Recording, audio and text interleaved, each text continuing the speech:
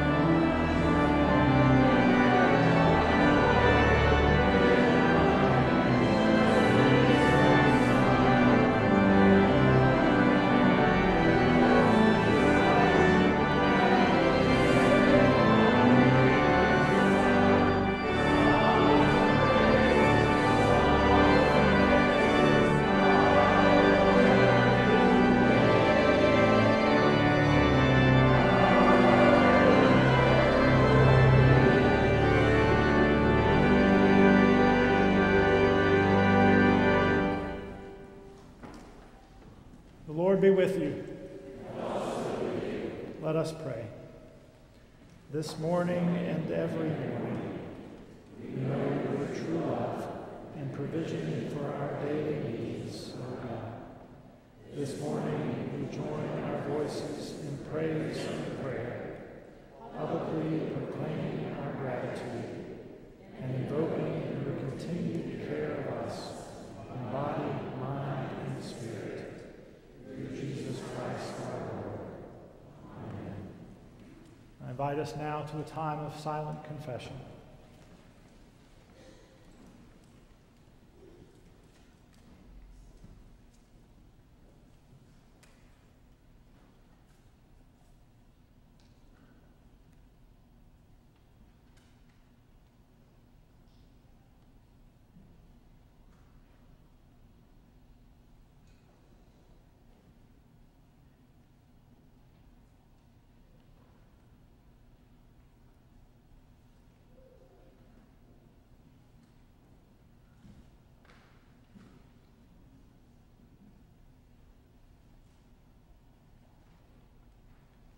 Hear the good news in the right time, when we were weak, when we were yet sinners. God sent his Son that we would know we are forever loved and eternally forgiven. In the grace of God, we are forgiven. Amen.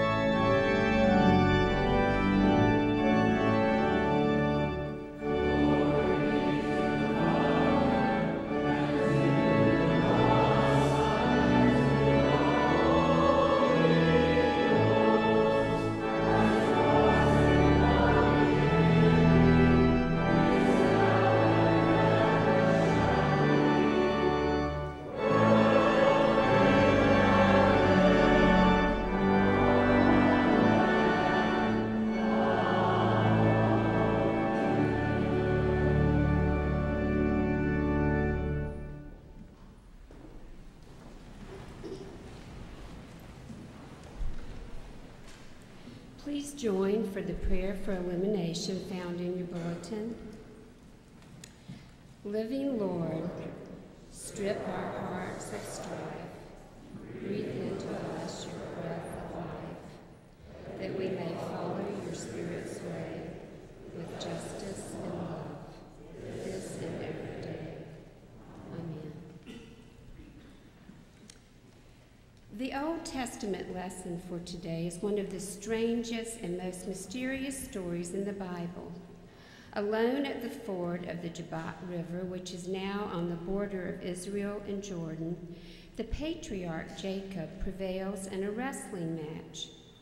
Although the passage is usually entitled, Jacob wrestles with the angel, no angel is mentioned. Rather, Jacob's opponent is called a man. Throughout the Old Testament, however, angels do look like men. After the wrestling is over and the man or angel has vanished, Jacob says that he has seen the face of God. Jacob names the place Peniel, which means face of God in Hebrew.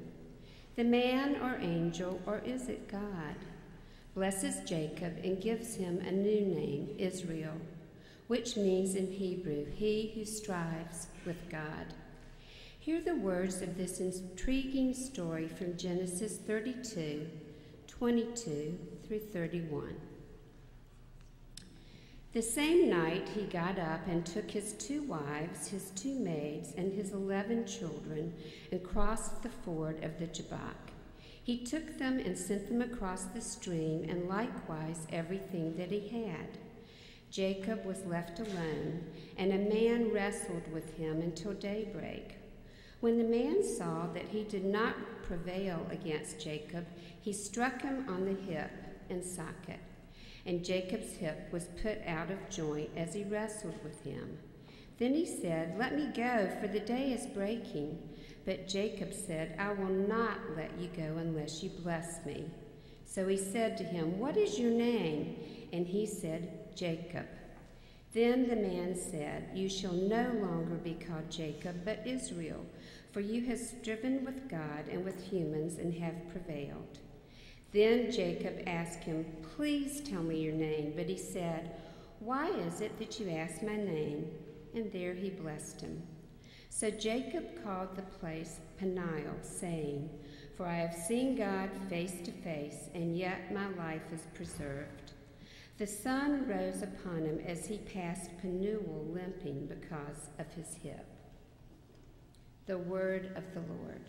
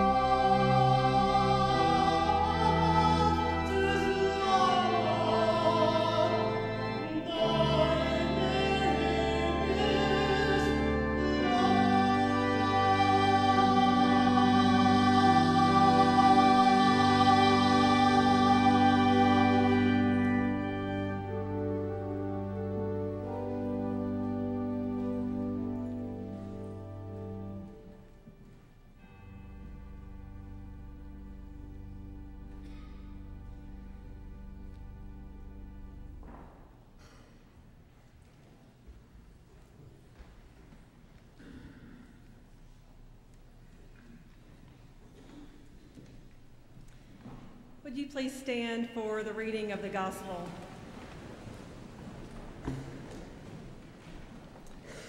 The gospel lesson is from the gospel according to Matthew chapter 14. Hear the word of the Lord.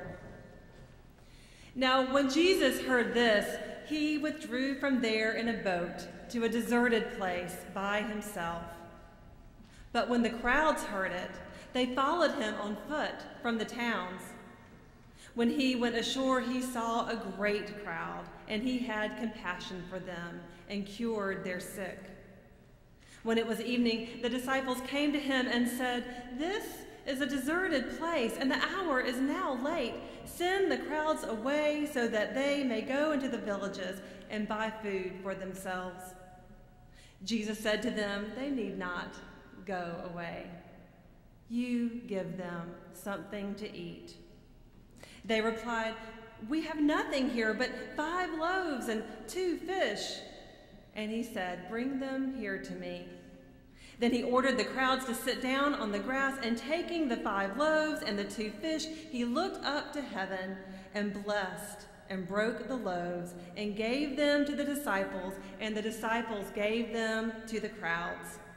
And all ate and were filled. And they took up what was left over of the broken pieces, 12 baskets full. And those who ate were about 5,000 men, besides women and children. The Gospel of the Lord.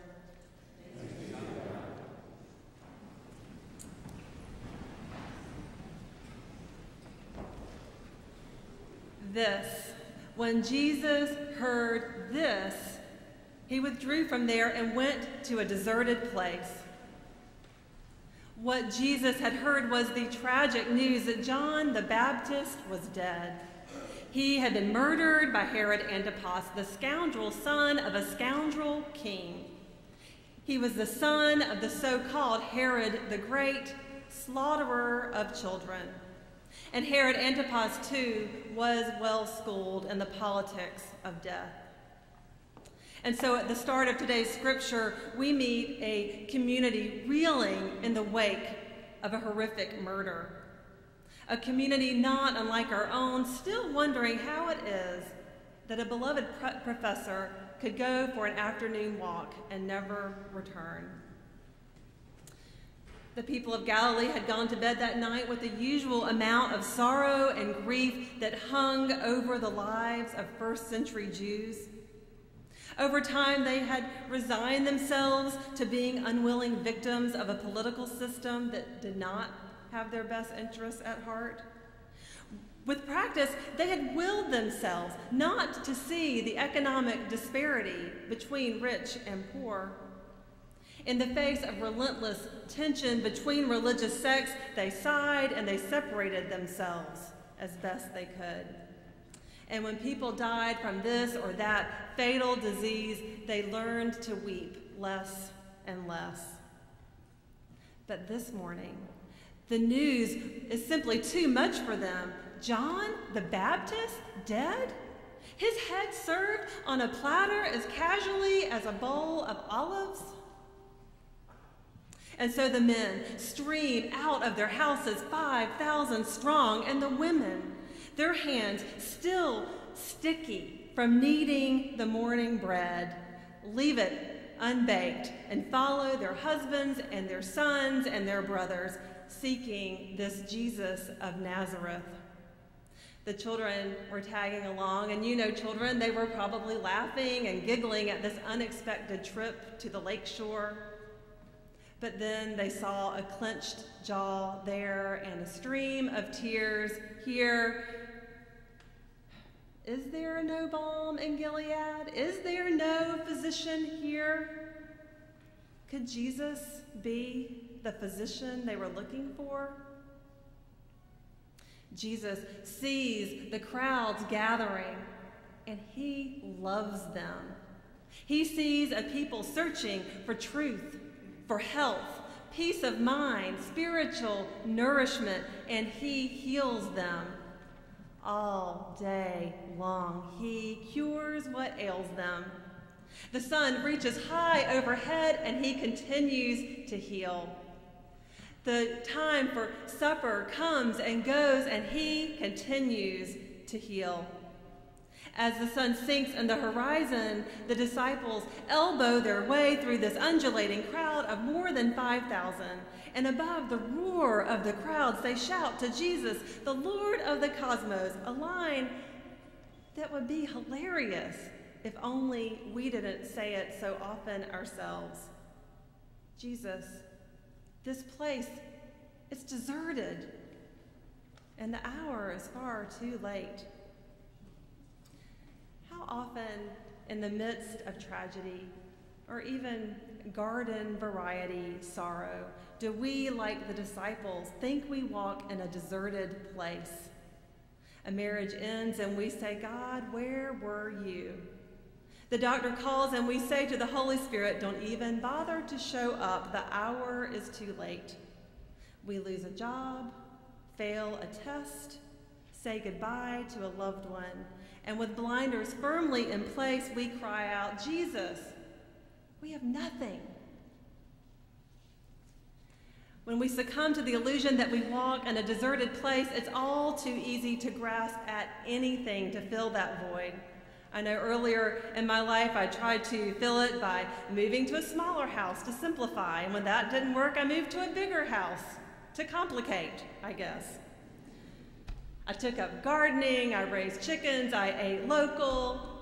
None of these are bad in and of themselves unless we go and examine what the motives might be for doing them.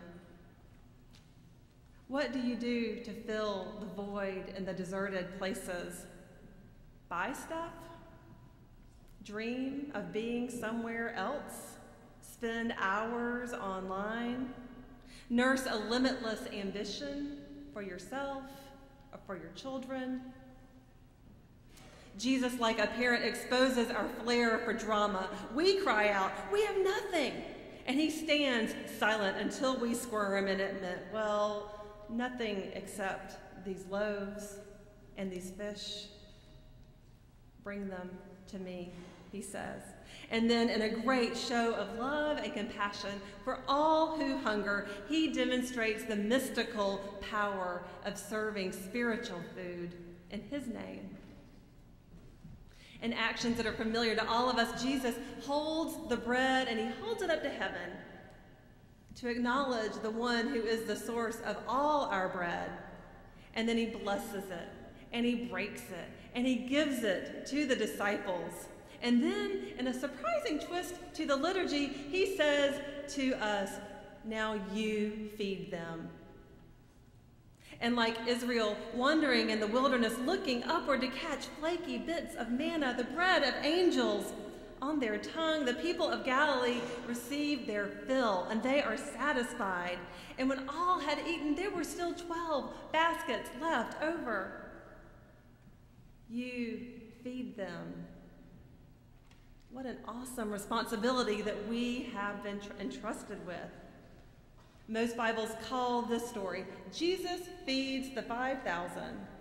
But not only are there far more than 5,000 once you count the women and the children, but Jesus isn't the one to feed them. Of course, He is the bread of life, He is there in the bread, but He assigns the task of spreading the bread to the world to us. Some of you may be thinking, well, feeding people, that's not too bad. I already donate food to table. When I'm at the grocery store, I throw an extra bag of rice into the cart. I go to uh, feed the homeless on Thanksgiving and every third Tuesday. All of these are wonderful. Don't stop doing those things. But don't be fooled into thinking that this is all that Jesus means when he says, You feed them. Jesus didn't meet the crowds on the lakeshore simply to sponsor their dinner. He didn't meet them solely to heal their bodies. He knew well the pain of living in a broken world, and so he came to nourish their souls. After all, one does not live by bread alone, but by every word that comes from the mouth of God. Our very existence rests on that word. outside these walls and inside them too, are people like the crowds in Galilee who hunger for a word of hope. Being the ones charged with feeding them can be a terrifying proposition. Believe me, I know. You may not have noticed, but I am not the same age as my colleagues who just graduated from divinity school. I am not 26. It took me a good long time to stand up before people like you and talk about God with anything other than fear and trembling. By the time I really heard God's call on my life, I wasn't new to the church. I had attended church my whole life. But still, I found it easy to confine God to Sundays. But slowly and surely, year after year of spiritual formation, Luke 9:23 started to haunt me. It says this, then Jesus said to them, Whoever wants to be my disciple must deny themselves and take up their crosses daily and follow me. What could that mean? What could that really mean? I wondered. I began to want to do more, but I wasn't sure, practically speaking, what God meant for me to do, so I began to pray, Lord, how do you want me to serve you? I was on a spiritual retreat when I finally realized why I hadn't heard God's response. You see, I thought I had been praying, Lord, how do you want me to serve you? But what I had really been asking was, how do you want me to serve you that won't affect my life, that won't affect my husband, my children, my bank account? These aren't the same questions. And so it was that when I found myself at a retreat listening to a pastor tell her story of being called to ordained ministry, Jesus' words to Peter started to play constantly in my mind Feed my sheep. Feed my sheep. Feed my sheep. A few days later, I applied to seminary. Now, some of you look a little worried. I know not everyone is called to ordained ministry. Not all of you need to go to seminary, but all of us are called to feed those who hunger for hope in a world that feels broken. But we can't feed others if we ourselves are starving for spiritual food. We can't share God's love with others if we really don't know deep in our heart God's love for us. For most people, such understanding and nourishment takes effort.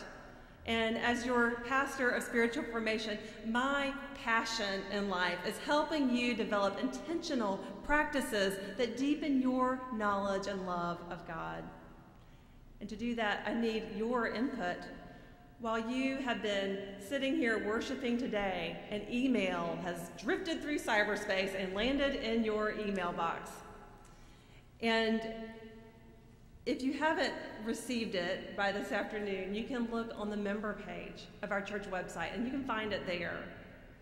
The purpose of this survey is to help me and others plan short term uh, and, and long term studies in Sunday schools to help you grow spiritually.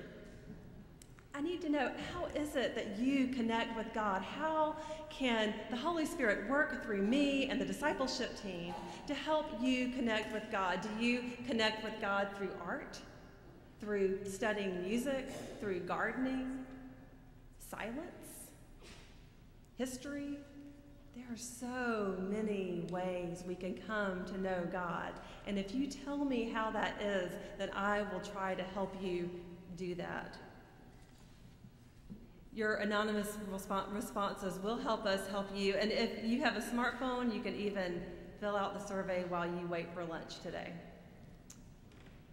Free love and other gospel truths. That's the sermon series that we're in. And so I stand before you today to proclaim this truth. This I know for sure. This is not a deserted place. The hour is not too late. And the death and the resurrection of Jesus Christ means that we have far more than nothing. We have everything. This is the news that crowds hunger to hear, and now let us all join together and feed them. In the name of the Father, and the Holy Spirit, and Jesus Christ, amen.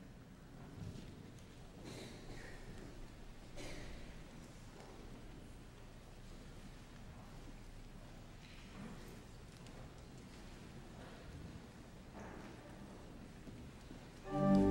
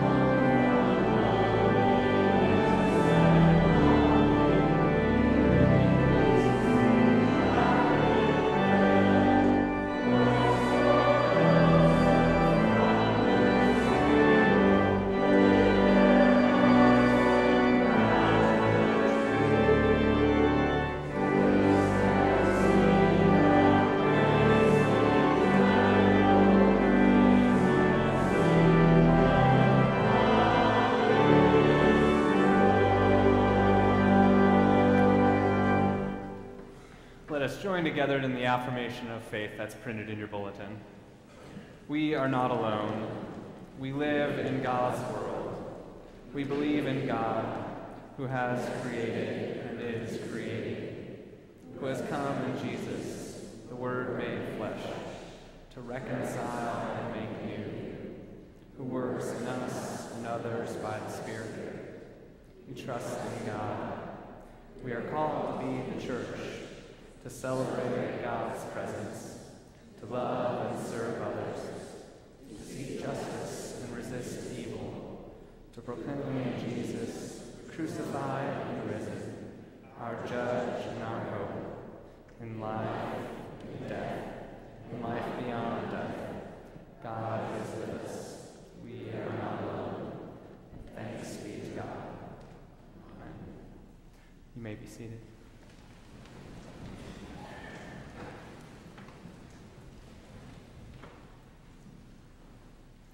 Lord be with you. Let us pray. Gracious God, you formed us from the beginning, made us in your image, and call us good, and wherever we go, you make a way for there to be good things to grow out of, even the darkest of places. Grant, O God, that all who confess your name may be united in your truth live together in your love, and reveal your glory in the world.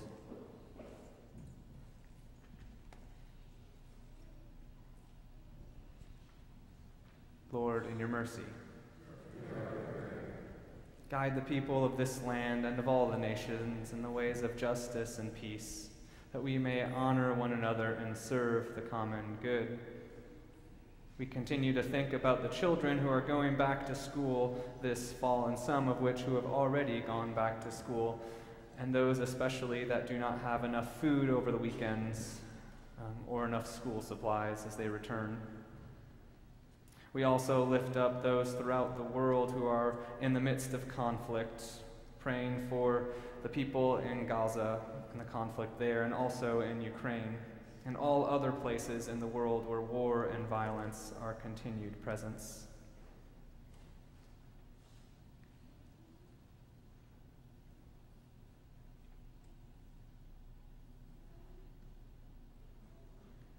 Lord, in your mercy,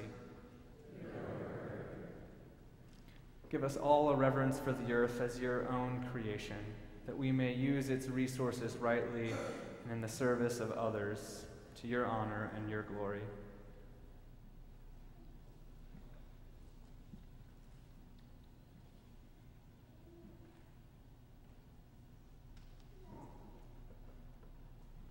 Lord, in your mercy.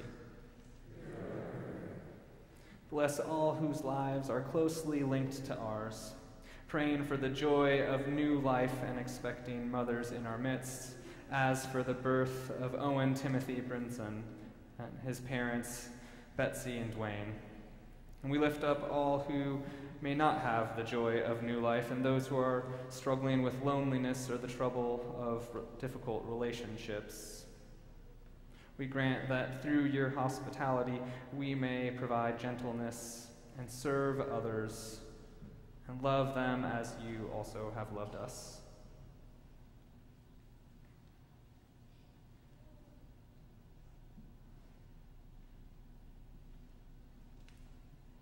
Lord, in your mercy.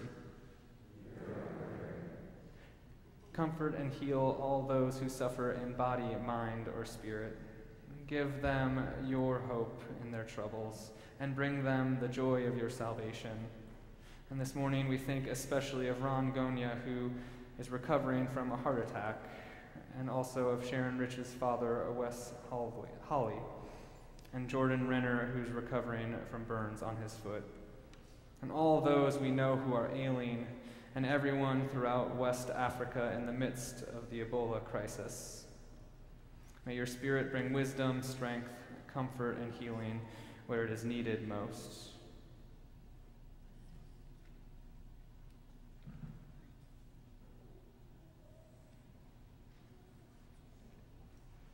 Lord, in your mercy. We lift up all who have died and give them to your loving care. And we pray that your will for them may be fulfilled, and that we may also share with all your saints in your eternal kingdom.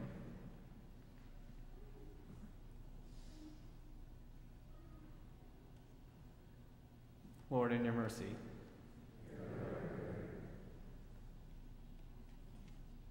God, you know the words on our hearts, those spoken and unspoken, and we lift them to you and trust that you love us freely, all of us, where we are here in this place. And we pray the prayer that your Son taught us to pray, saying, Our Father, who art in heaven, hallowed be thy name. Thy kingdom come Thy will be done, on earth as it is in heaven. Give us this day our daily bread. Forgive us our trespasses, as we forgive those who trespass against us. And lead us not into temptation, but deliver us from evil. Yours is the kingdom, and the power, and the glory forever.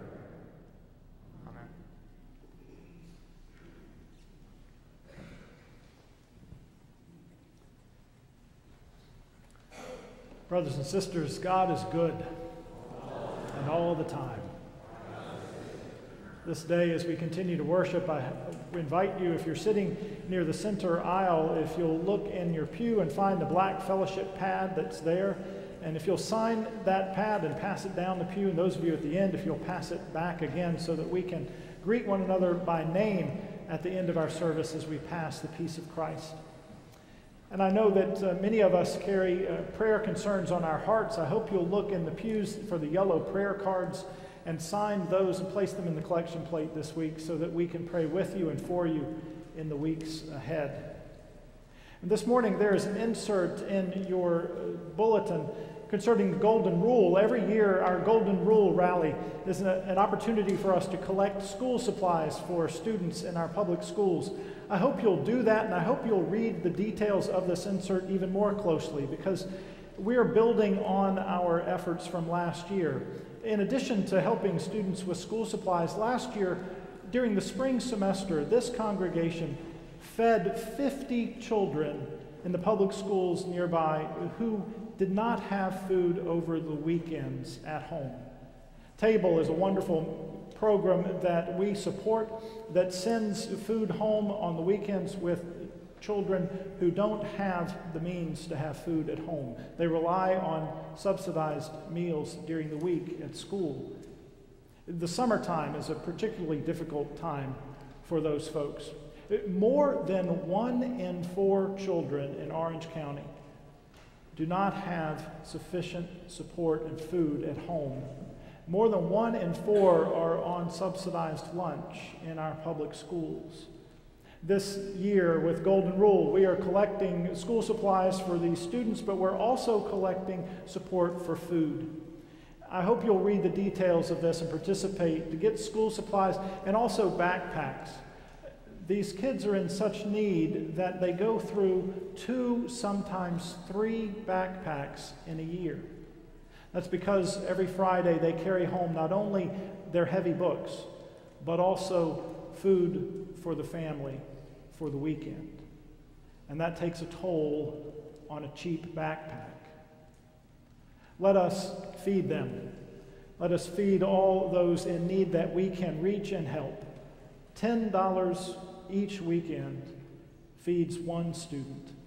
That's $40 a month. That's $400 for one student for the year. I share those numbers simply to give you a reference point as we follow God's leading and we, in the tradition of Methodists everywhere, care for those in our community.